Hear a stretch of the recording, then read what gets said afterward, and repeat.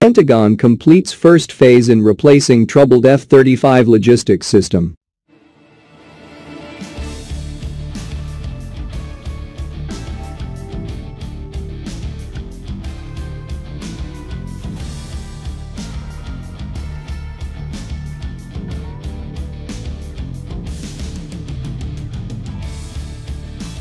The U.S. Defense Department has finished fielding the first batch of new logistics systems for the F-35 Joint Strike Fighter, replacing an older flawed system that has caused program headaches for years. In a release, the F-35 Joint Program Office said the first 14 sets of the new Operational Data Integrated Network, or ODIN, logistics information system finished their rollout to F-35 squadrons in January.